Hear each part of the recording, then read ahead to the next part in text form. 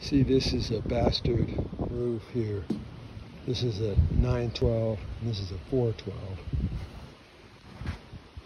How do you get these sheeting angles before you hand them up? In other words, can you cut these on the ground and hand them up with the bastard roof? And the answer is yes.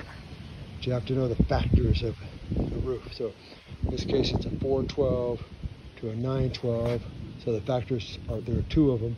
9 divided by 4 and 4 divided by 9, which is 0.44 and 2.25, right? So if you wanted to imagine that, if you would imagine that 48 inch sheet was the hypotenuse of the rafter length, and you wanted to turn it back into a run, 48 divided by the secant of the roof, which is 412 is 1.054, so 48 divided by 1.054 and then multiplied by the factor of this side, which is 0.44, will give you how much you pull across the top of a square sheet of 4 by 8 sheet of plywood, in this case 20 inches, and snap a line to zero, and it'll give you this one here, 20 and a quarter.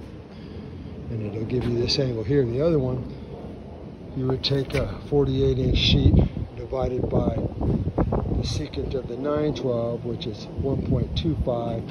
That'll give you the run, because you're imagining this 48 inches is like a rafter length, and you want to find the run, so you divide instead of multiply, creating the run. And then you, you multiply that by 2.25, which is the factor, and it'll give you how far over you have to run on the level. That's why you don't, this is on the level, the other's up the rake, right?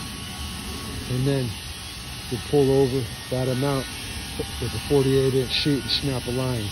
And that'll give you the angle and it'll fit like a charm, assuming your rafters fit like a charm. And if you're doing math for the rafters and it works, you can do math for your plywood and it'll work.